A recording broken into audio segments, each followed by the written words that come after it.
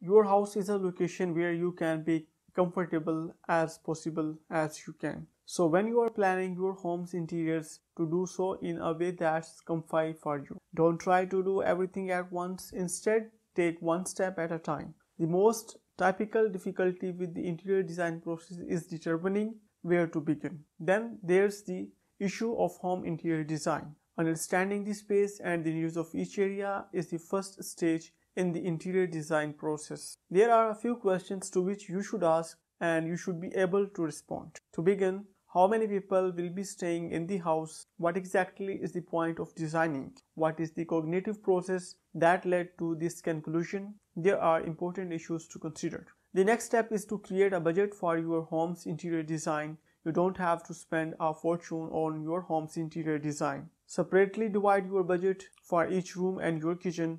It will be determined by a number of elements including the room size, type of furniture, furnishing and accessories. If you are in a pinch, however, you can always go with a simple EMI option. This is the most important step in the interior design process. The creative thought process and interior architecture are combined in design creation.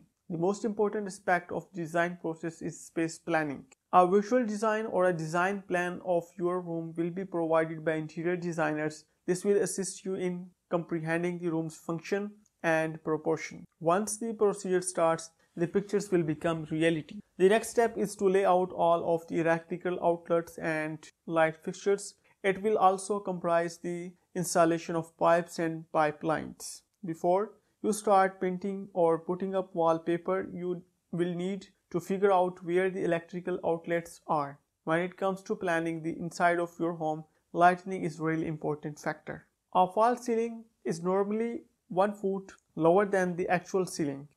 This wall ceiling is where the electrical ducts and points are installed. It has become an important feature of modern home design it not only hides the room's fundamental infrastructure such as plumbing pipes and electrical wiring, but it also adds to the design process. Selecting the appropriate flooring can be a time-consuming process as you arrange the interiors, gather some information about the various varieties of flooring. Hardwood, laminates, tiles and vinyl are all options. The decision is based on the cost, location and benefits and drawbacks of each alternative. For instance, while choosing bathroom flooring, you should consider whether the material would make the room or floor slippery or not. If you are having your furniture designed, you will need to know a little about woodworking and different types of material.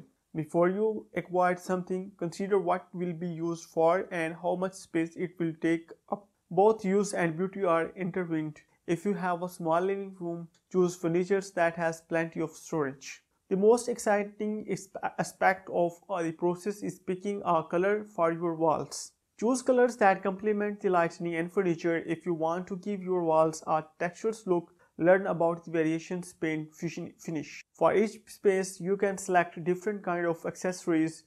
Using colorful decorations in your living room and bedroom will emphasize the design of the space. The utilization of varied textures will bring in pleasure and joy for your bathroom, select the faucets and other plumbing fixtures well in advance. After you have your interior plan ready, the real work begin. After that, installation process follows. In this step of procedures, all the elements and appliances decided upon are installed and worked upon. Finally, it comes down to the finishing of the design. You must maintain an eye on the completing of the task done. Check on the polish of the woodwork the finish of the paint and the furnishings. The strength of cabinet handles and the corner finishing of each room should also be checked very well. As we know that our house is a beautiful place where we spend our most of time, so it should be a comfortable and a pleasing place for us.